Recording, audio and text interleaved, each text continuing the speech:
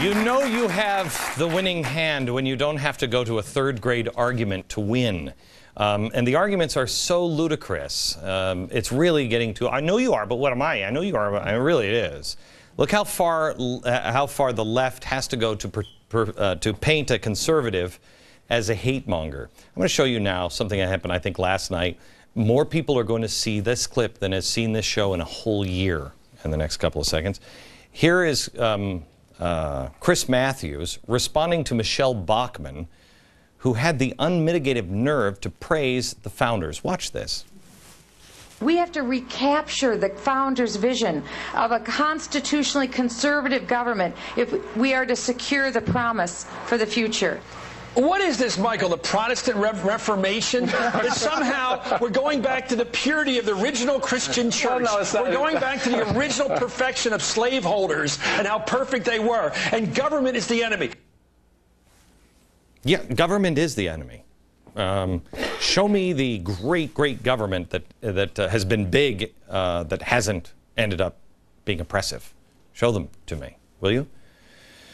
Um, here he is jumping through hoops, and he's ignoring the creation of the greatest country the world has ever seen, ever. He ignores the brilliance of the Constitution, the power of the Declaration of Independence, skips all of that, and declares that Michele Bachmann must have meant that she wants America to return to slavery. I know you are, but what am I? Come on, Chris, please. Let me ask um, how many are conservatives? Oh my goodness, there's no diversity of thought here. Um, let, me, uh, let me ask you this. How many want to return to slavery? Oh, come on.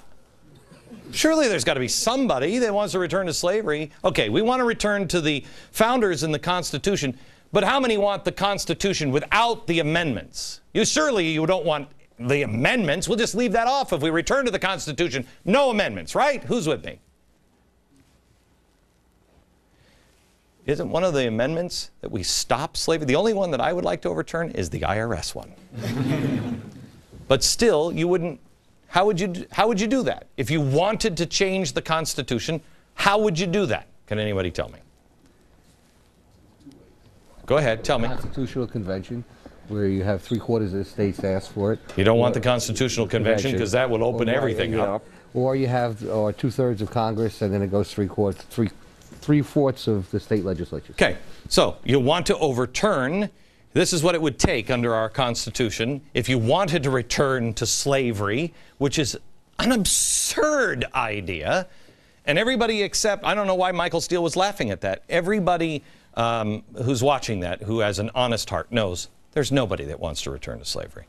You would have to go, get a bill drafted, get it through Congress, get it through all of the states, Come on. That's not going to happen. George Soros couldn't make that happen. So, what is that all about? What is that clip really about? It's vilifying. Go ahead. It's a very common tactic. It's vilifying the messenger and, and making them uh, seem as if they're ludicrous or they're racist and delegitimizing them rather than the message or the policy that's being advocated. Right. So, listen, when uh, that we showed this clip last night, another clip like this about Rick Perry, where they said, I don't even know what he's, uh, what? Uh, Self reliance? What? I mean, the, the, things that we have always, every president, every party on both sides, have, we've said, both the Republicans and the Democrats both say it. We're like, they're lying to us. They don't believe that. But they've always said it. Now they're not even saying it. It's not only doing a Sarah Palin to Michele Bachmann, it's immediately labeling her a racist. She wants slavery, which is ridiculous.